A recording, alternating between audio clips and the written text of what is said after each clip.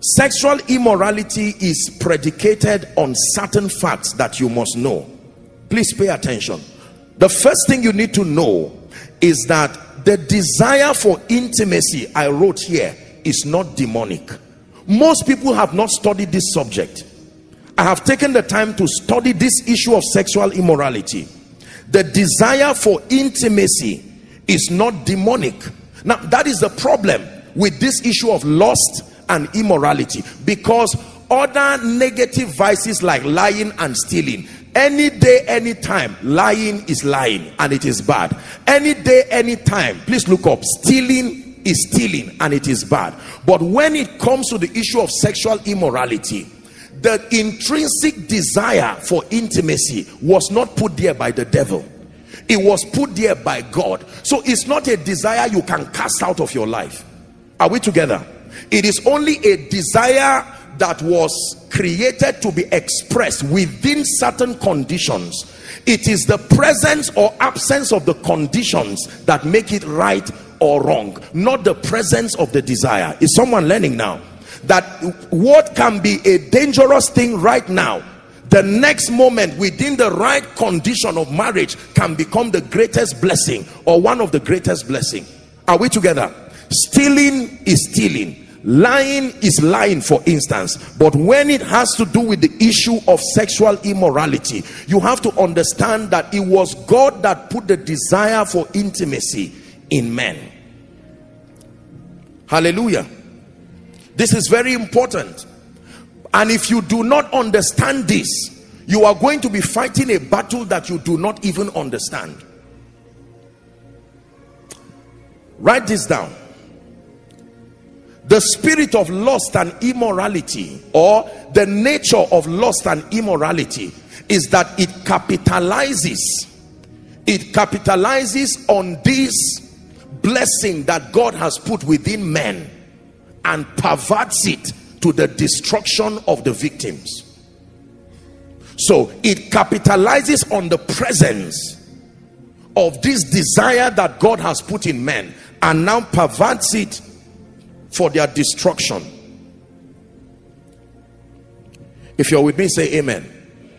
Now sexual immorality does not care whether you are old does not care whether you are young does not care whether you are an apostle whether you are a prophet whether you are good or bad. Sexual immorality is not about being good or evil.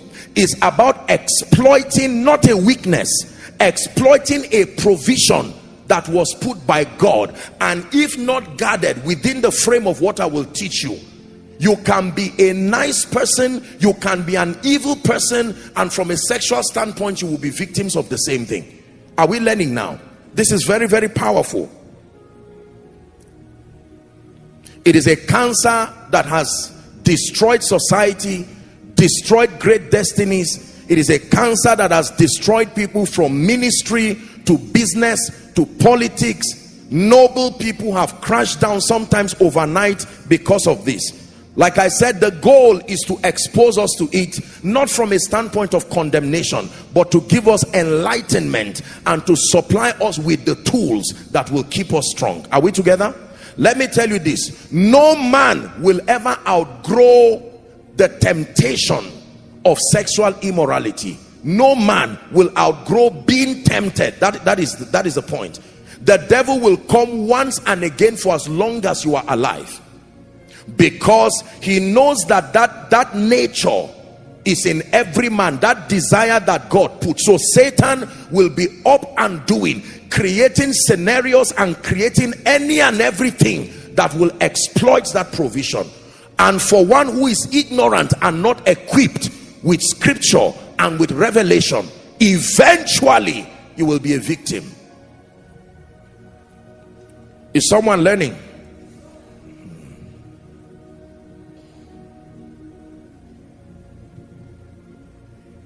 It is a spirit.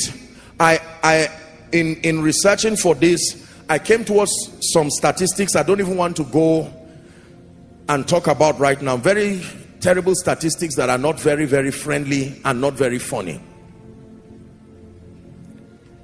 but then I studied something in dealing with this subject. Do you know that speaking within the context of sexual immorality, the way this spirit works is that once you are a young and unmarried person, the devil, the spirit of lust acts by amplifying to an unusual degree. Are we together? This desire that God put. Generally, everything God gives man, he gives you power and control over. Whatever seems to go beyond your control has been empowered by another spirit. Are we together now? So, the way the devil pushes once you are unmarried, without a spouse he will amplify to an unusual degree and I, there may be biological explanations. I don't downplay you know research of medicine. We're not discussing medicine now. This is from a spiritual standpoint.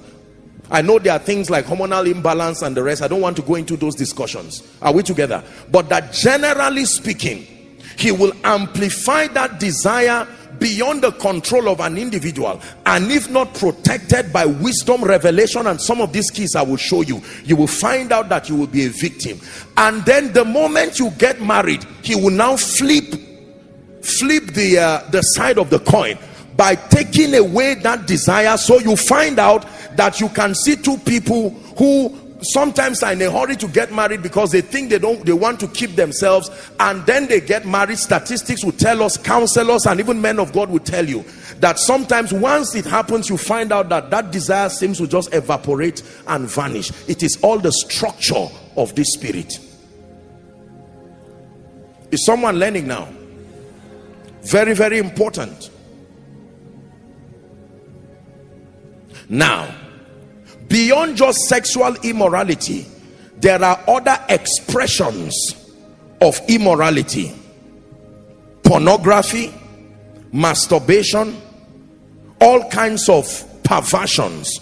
Sexual immorality may be the major issue but there are many others. You see the thing about the thing about sexual immorality is that it is it requires a number of conditions for that to happen. Number one it is atmosphere dependent. Number two you will need the mutual consent of the parties involved. But for things like pornography and masturbation these things do not need this all these extra things. So there are many people who for some reason have been able to survive sexual immorality. But pornography masturbation and a lot of other bodily vices. Do you know the bible says a man that looks at a woman to lust after her in the mind of the spirit he has already committed immorality. So there are others who may not physically act it out but as far as god is concerned they are victims because it is a state of perpetual emotional entertainment just like sexual immorality pornography masturbation and so on it does not care whether you are a man of god. It does not care whether you are married. It does not care whether you are single. It does not care whether you are young. It does not care whether you are old. If left unchecked it will attack and wreck your life. Is someone learning now?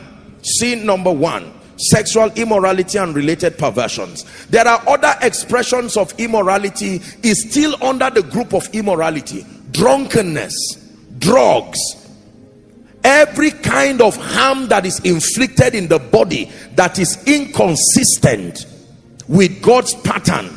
Are we together? So there are some who will say well I'm not sexually immoral but